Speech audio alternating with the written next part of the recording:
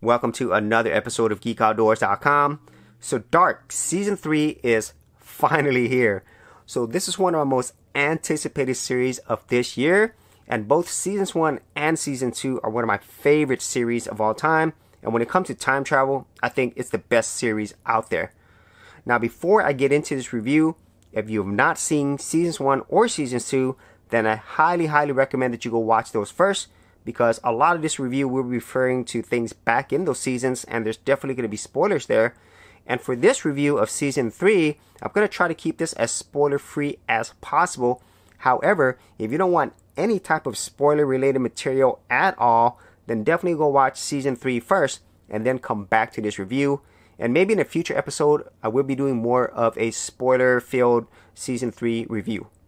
And so, getting into this review, this season 3 actually takes place directly after the events of season 2. So, if you remember at the end of season 2, Martha gets shot by Adam, Jonas is freaking out, and then another Martha shows up, and Jonas is asking her, What time are you from? But she's asking, instead of what time, what world? Mind blown.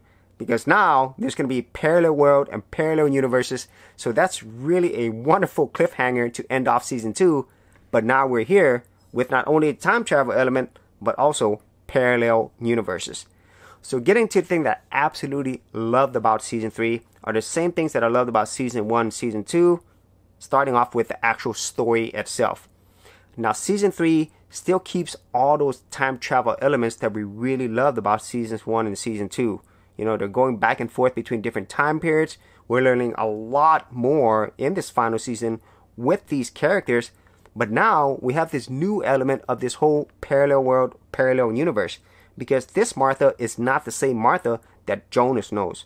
And so in this season, without giving too many things away, this whole parallel world universe is more focused on Martha versus the existing world that we know of Jonas.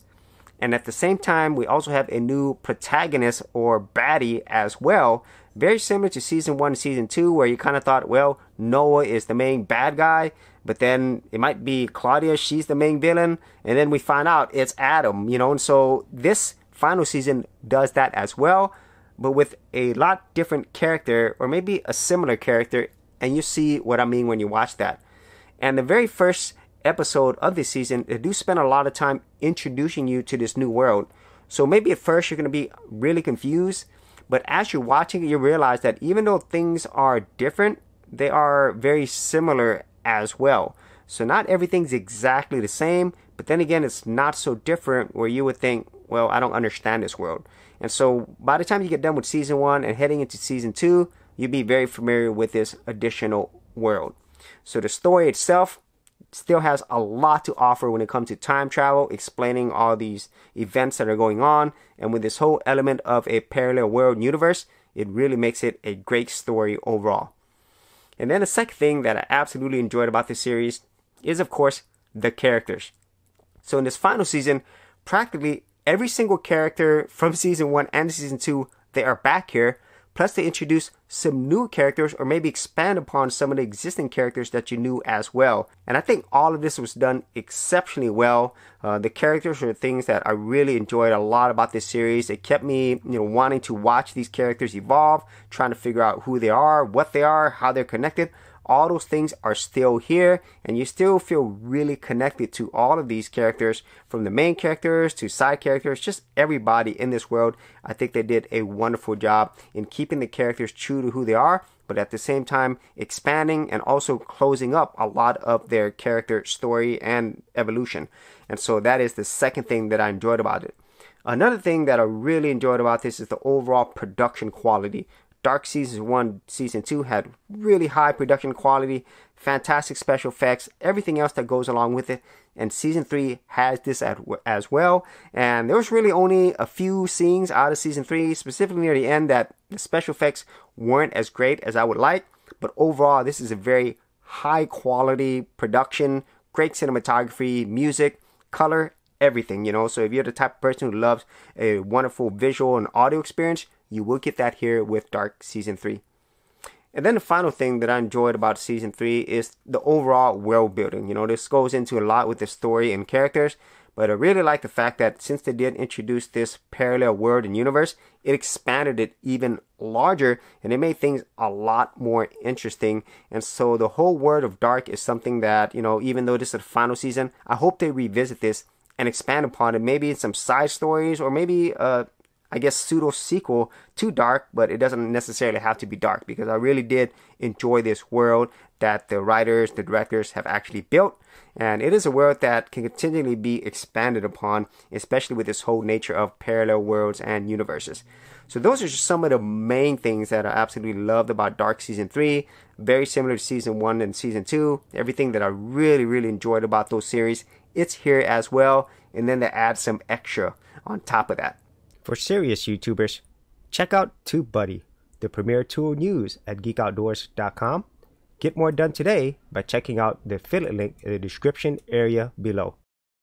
So now let's get into the things that I did not like about this because Dark Season 3 has a lot of pressure because Seasons 1 and Season 2 were just such an amazing breakthrough type of series. It's really hard to follow it up with something that ties everything together. But with all of that being said, I would say the weakest link in Season 3 has to be the ending. You know, everything else leading up to that, I absolutely loved it. It stayed tried and true to everything that I loved about Dark Season 1 and Dark Season 2. And it kept me guessing, you know, kept expanding upon things, but it, it made you ask more questions. But when it got to the end, uh, this was my worry, you know, and the worry, at least for me, whenever you're trying to do something that deals with time travel, parallel universes, and so forth, is you might have a cliche type of sci fi ending where, you know, things aren't as important as you thought they were. And then everything that happened leading up to that, you know, it's just kind of devalue it, you know, and I'm not going to try to go into specifics on that because I don't want to give anything away. But if you've ever seen any other sci-fi parallel universe movies or shows, you'll get what I mean, you know, and, and unfortunately Dark Season 3 falls into that where at the end I was just like, okay, that explained it, but at the same time, the characters that were the centerpiece of this ending and how it ended, uh, I don't think it was as satisfying as I would have really wished it was. And I'm not sure of what other ways it could have done it, you know, because there is so many things within this story. It's really complex, but in my opinion, that's really the only weak link that I saw with Dark Season 3. Everything else it was near perfect for me, very similar to seasons one and season two. And so I was hoping that it would get an ending that would make this the best series, specifically for sci fi time travel of all time. So it's almost there, but not quite. So that's really it for this overall review of Dark Season 3. And there's still a lot of things that I want to talk about, but I want to save that for a future episode where I could talk about spoilers. And so when it comes down to it, if you enjoyed Dark Seasons 1, Season 2, definitely watch season three. And if you haven't seen it, watch all of it. You you really will get a lot out of this. And at the same time, it's one of those type of series that's really going to make you think a lot about what's going on, reality, uh, the characters, worlds. There's so many things that it makes you think about, and it does it in a really clever way. And so, if you actually had any thoughts on this, whether it's season three or any of these other seasons of Dark, be sure to leave that in the comments area below. And if you want to see more of my sci-fi reviews, I do have a playlist. I'll leave that in the description as well. So as always, if you did get value out of these videos, be sure to share, like, and subscribe. Hey geeks, if you are a creative geek like me and you wanted to learn how to create content on YouTube and other places on the internet, then check out my Go Content Creators group where you'll get access to additional videos and content for all the creative geeks out there. And the best part of it is all of this is free simply head over to the link below, check out my page, and sign up for my Go Content Creators group.